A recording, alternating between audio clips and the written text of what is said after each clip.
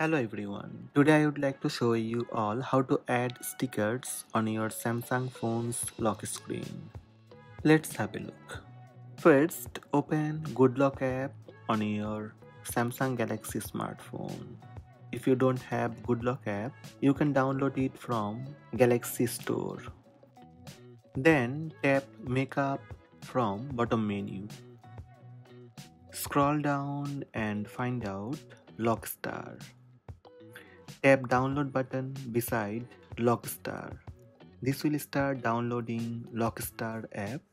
When Lockstar downloaded, scroll up and tap Lockstar. Tap start blue button and tap allow. Now turn on first lock screen layout.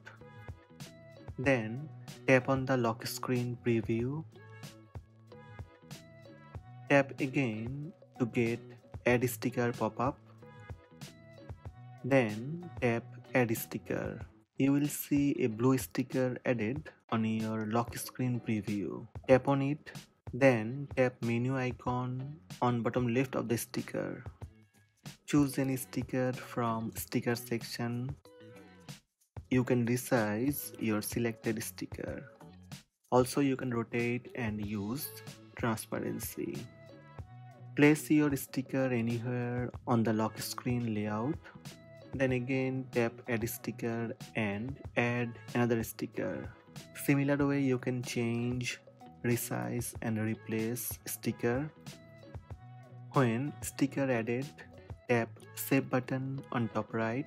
Then go back to lock screen and check lock screen stickers.